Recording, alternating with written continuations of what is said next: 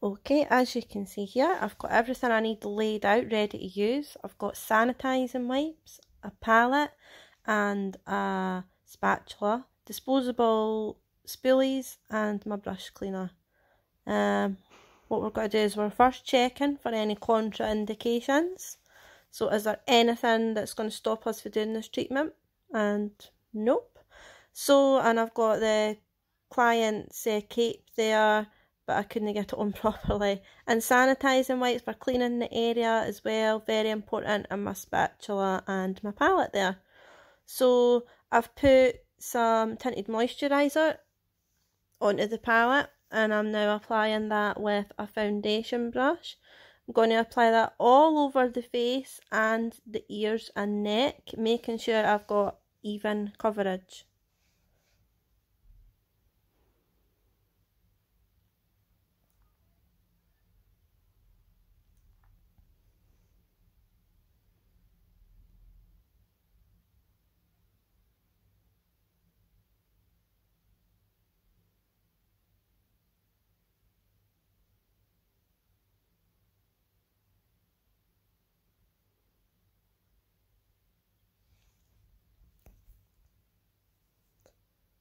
And once you're happy with the coverage you've got there, just take a light concealer.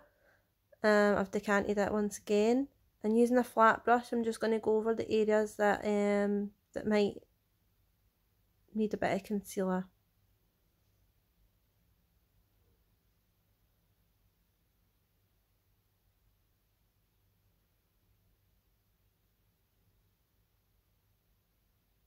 Then once I've done that, I'm just going to grab um, this small buffing brush and uh, buff that product out.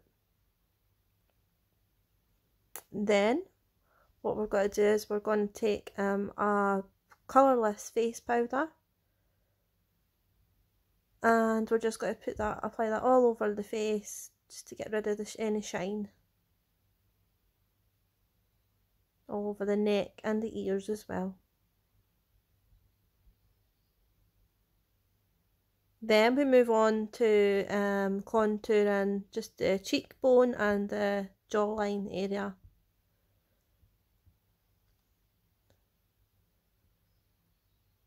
We're not doing this too much because we are looking to keep this natural. And I'm just blending that in as much as I can.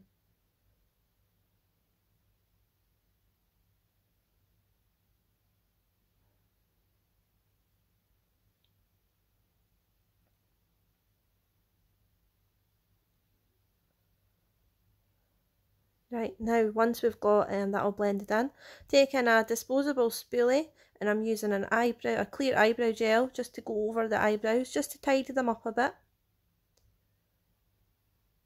Then I'm taking a new um, spoolie and I am just using a clear mascara going through the lashes as well, just to define them um, and keep keep them natural as possible.